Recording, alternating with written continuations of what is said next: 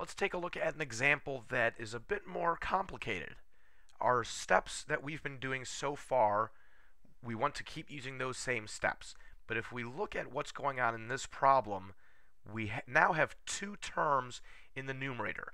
We're using the same basic approach, but we have to be a bit more cautious about having two or more terms in the numerator. As soon as we have two or more, we have to be on the lookout for making sure we do things properly to all of the terms that we have in our expression. This means for this problem, when I first think about simplifying the fraction, 13 over 26, no.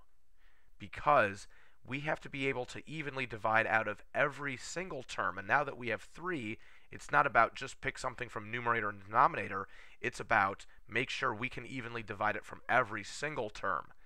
So number outside of the radical is a no-go because there's no number outside of the radical in this other term in the numerator.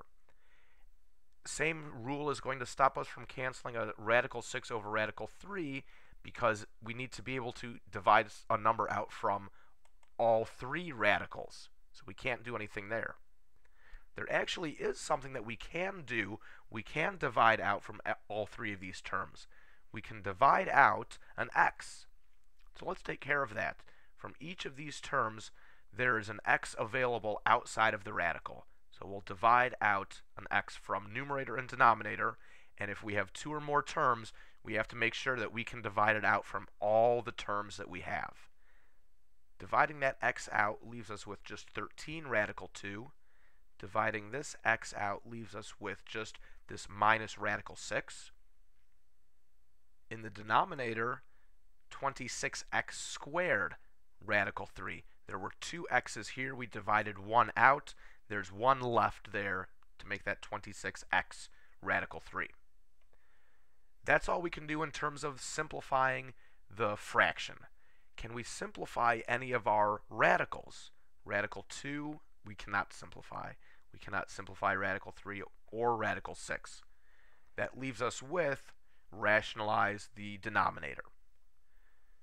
Now the 26x that we see down in the denominator is not a concern. It is outside of the radical. Remember, we are rationalizing the denominator, which is removing any radicals down there. So what we choose to multiply to top and bottom is not going to be influenced by anything outside of a radical. We only care about the radical part. That's why we choose top and bottom times just radical 3. If we multiply by 26x, that's excessive. We want to stay away from that. Think only about clearing the radical. Here's the next part of the problem where we need to be cautious about the fact that there are multiple terms in the numerator. To multiply the numerator by radical 3, it's going to have to be distribute. Just like we need to be able to divide from every single term, when we go to multiply, we need to make sure that we multiply to every single term. To multiply just to the radical 6, but not to the radical 2, is an error. Okay, radical 3 times our first term, 13 radical 2. We know that we're not multiplying it to the number outside, we're multiplying it to the 2 inside. It gives us this radical 6, and 13 still on the outside.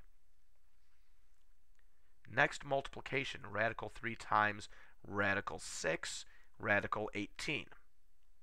You're maybe thinking about we can simplify that radical. We'll definitely get there before we call this problem finished.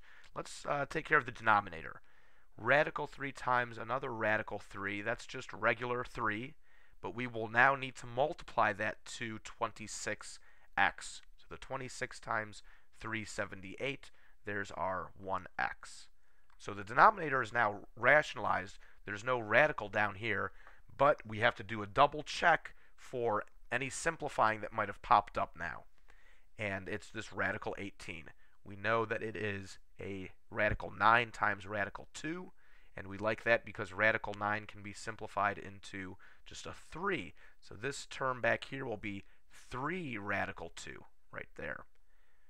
13 radical 6 minus 3 radical 2 over 78x. Lastly, can we simplify the fraction part? Our radicals are totally simplified, but can we evenly divide out of all three of our terms looking at the numbers that we have out front? The 78, it is a multiple of 3, but the 13 we cannot divide a 3 out from there. So we cannot simplify the fraction. The radicals are done. The denominator is rationalized. We are finished.